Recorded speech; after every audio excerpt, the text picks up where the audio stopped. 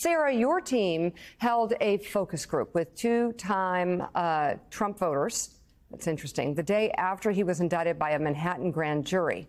Now, they were asked for their thoughts on the indictment and whether they were more or less likely to vote for him a third time. Let's take a listen.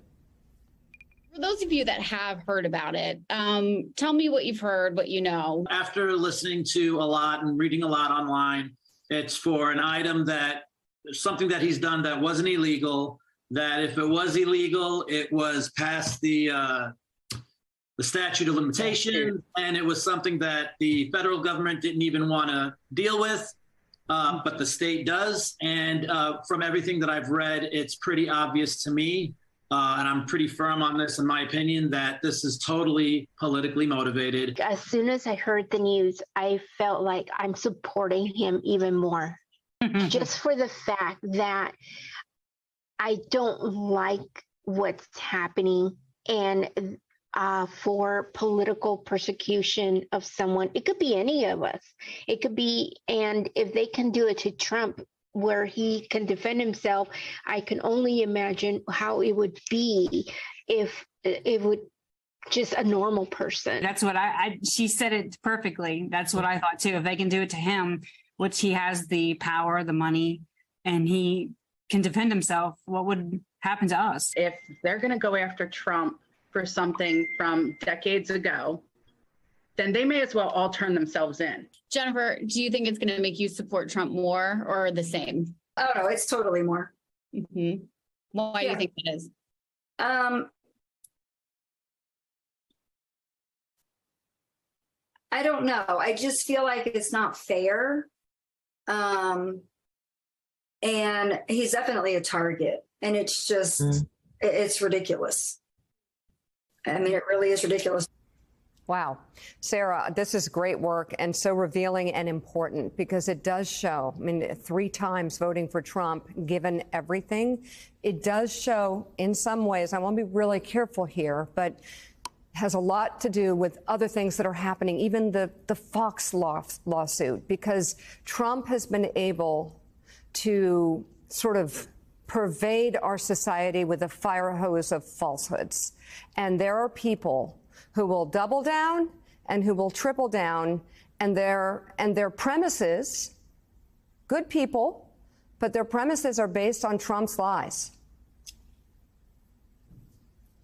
Yeah. So I call this the rally round Trump effect, uh, where voters feel like, and you can hear it, right? You hear Trump says this, his surrogates say this, this idea that if they can do this to Trump, they can do this to you. Right. And so voters feel they, they've over the years, they've developed this relationship with Trump where they feel like he is their weapon. He is the hammer to go after their enemies. And that's why he says things like, Yeah. you know, I am your retribution, Retribution, because yeah. that's the relationship that he has uh, with these voters. And and um, you know, I think what the indictments do, right, is it allows him to to have sort of a new grievance. He's been locked in the grievance of the 2020 election, uh, but now he's got now he's got a new grievance, and so they're they're rallying to him. But the worst part of that is like we expect this from the voters. I've seen this now with both impeachments. The voters always do this. The the problem now is that his competitors in the Republican primary are also doing this. Ron DeSantis is rushing to his aid. Nikki Haley is coming to his aid, and they're all condemning, uh, you know, these indictments, and that creates a new dynamic where these 2024 challengers all become sort of supporting characters in the central drama of Donald Trump, which means we're all talking about him all the time. He sucks up all the oxygen. And this is how he becomes the front runner. And it's why he's so difficult to beat. And so, you know, I was watching that clip with Governor Kemp, he wouldn't even, you know, say Trump's name. He wouldn't say, he wouldn't sort of come out and condemn Trump. And until these the Republican Party, they have agency here. Until they start to condemn Donald Trump, um, you know, there's going to be no movement. They're basically all just ceding this election to him, which I think is a huge, catastrophic mistake. Wow. So, Matt, Sarah makes such a good point there that it's not just that the indictments and the way Trump has, has frankly used them to his political advantage has rallied his base, but he's sort of he's been able to neuter some of the attacks against him. He's been able to silence some of those would-be rivals of his who need to come up with some way to, dis- to, to distinguish themselves from him if they're going to beat him to be the nominee. So you tell us if you have it. What can they do? Is there a candidate in the Republican field who has the ability to go after Trump? And and if so, how do you defeat him from within? So I don't think that there is, to be honest with you. I mean, that's why they play the game, right? Who knows how the campaign will shake out. But look, I think a lot of us were kind of hoping that it would be Ron DeSantis. And the reason we were hoping that is we saw what he did in Florida. Uh, he seemed to have a commanding presence. Um, and he has, frankly, a very compelling argument. He's got a generational change argument. He's got the, ch- the argument that he is Trump, but more competent, that he can uh, sort of execute the culture war in a more competent manner, uh, less drama, less tweets. So, you know, DeSantis, there was sort of a hope that he would rise to the occasion. But I think what has happened in the past few weeks really is two things. One, we have seen that Ron DeSantis uh, is not great so far. He is not this great magical hope that we thought he might be. Um, it's not Florida. You know, in Florida, he kind of controls everything. He controls the stage. He he can look tough. He can look commanding. Uh, he doesn't quite have that same charisma. And then the other thing, of course, is the indictment. The indictment of Donald Trump, which I think really propelled him, uh, as Sarah was saying, uh, to have a new grievance and a new argument. And I think there is a rally around the Trump effect. And guess what? If it subsides, there's going to be two or three other indictments that will likely boost Trump uh, at least in the short term. And so, uh, look, within the is it within the realm of possibility that that Tim Scott, that the public all of a sudden wants an optimistic, uh, happy warrior? It's it's it's possible, but I think uh, obviously the smart money is and has long been on Donald Trump. Sarah, you do a lot of these groups, and over the course of many years, could you talk a little bit about the shift in what you heard from the strong Trump supporters before the indictment and then after in the context of how they saw other candidates?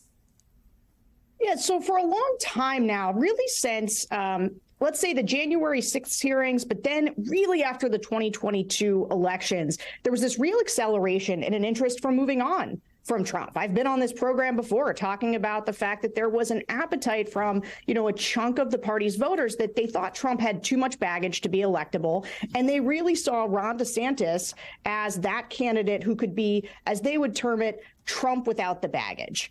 Um, but I think that two things have happened recently. As Matt says, we're watching Ron DeSantis not be a particularly compelling um, candidate. And also, the other thing that I'm seeing in the groups is that as Trump begins to attack Ron DeSantis, some of those uh, attacks are kind of seeping into the language and the way that these uh, voters are talking about DeSantis. You know, they say that DeSantis feels a little establishment, a little swampy. They're not sure they can trust him. And this is just an overall shift in the Republican Party where there's a lot of these candidates who forged their identities before Donald Trump was on the scene. Nikki Haley, Mike Pence, Mike Pompeo, Tim Scott. Voters don't want those candidates. Like that's just what I hear from them. They want people who have a sort of post-Trump vision. And so Ron DeSantis was one of the few candidates that seemed like an like a post-Trump kind of candidate whose identity was forged uh, during Donald Trump's candidacy, but they wanted to see him be like Trump, fight like Trump. And if Trump is kind of alphaing him the way that he's been the last few weeks, you know, why take Trump without the baggage or or some other sort of version of Trump when you can get just the straight right. up OG for you know version of Trump? You see those donors backing away. Sarah Longwell and Matt Lewis, thank you both very much.